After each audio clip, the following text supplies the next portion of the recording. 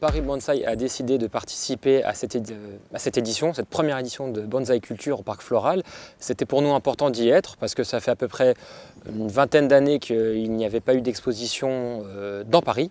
Euh, c'était pour nous très important de pouvoir y participer et d'être présent. Alors je peux te parler des pièces qu'on a rapportées, c'est très simple, on a ramené un petit peu tout. C'était euh, pour nous aussi une envie de pouvoir montrer de la diversité pas seulement ce qu'on peut proposer au magasin, mais de montrer qu'il y a des petits, des grands, des moyens, des intérieurs, des extérieurs, des yamadori, des arbres euh, déjà aboutis, moins aboutis, donc de montrer euh, sur cette exposition la plus large diversité d'arbres. Par rapport à ce qu'on expose aujourd'hui, c'est très simple. La plupart des arbres qui sont exposés, en fait, on ne peut pas les montrer au magasin parce qu'ils sont de taille conséquente et que du coup, on ne peut pas les rentrer à l'intérieur.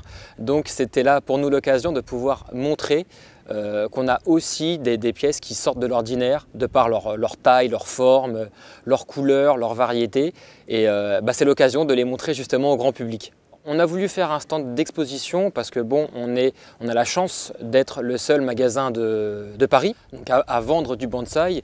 Euh, donc on a préféré plutôt aller vers le côté exposition et mettre un peu de côté euh, le temps d'un week-end, le côté vente pour se faire plaisir et montrer des beaux arbres et surtout pour pouvoir échanger, échanger avec des gens, des amateurs, des gens qui s'intéressent au monde du bonsaï, donc sortir un peu des carcans de la vente, du commercial pour aller un peu plus vers le côté euh, qui nous passionne tous à la base, qui nous anime, donc la, passion et euh, l'envie de, de partager l'univers du bonsaï.